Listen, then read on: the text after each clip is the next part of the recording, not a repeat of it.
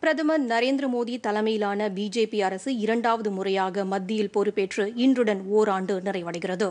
இதனையொட்டி நாடு முழுவதும் உள்ள சுமார் பத்து கோடி மக்களுக்கு பிரதமர் தமது ஆட்சியில் நிறைவேற்றப்பட்டுள்ள சாதனைகளை விளக்கி கடிதத்தை அனுப்பியுள்ளார்.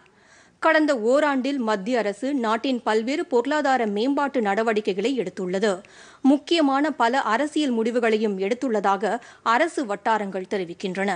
பயங்கரவாதம் என்ற மிக மோசமான அச்சுறுத்தலுக்கு எதிரான உறுதியான நடவடிக்கைகளை எடுத்திருப்பதுடன் இந்தியாவின் மீதான பயங்கரவாத நிழல் அகற்றப்பட்டிருப்பதாக மத்திய அரசு தெரிவித்துள்ளது.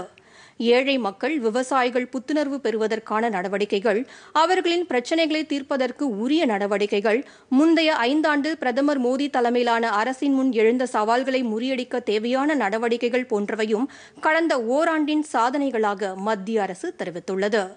புதிய இந்தியாவை உருவாக்கும் கனவை நனவாக்கும் வகையில் முதலாம் ஆண்டை நிறைவு செய்து பிஜேபி தலைமையிலான மத்திய அரசு இரண்டாம் ஆண்டில் அடியெடுத்து வைத்துள்ளது.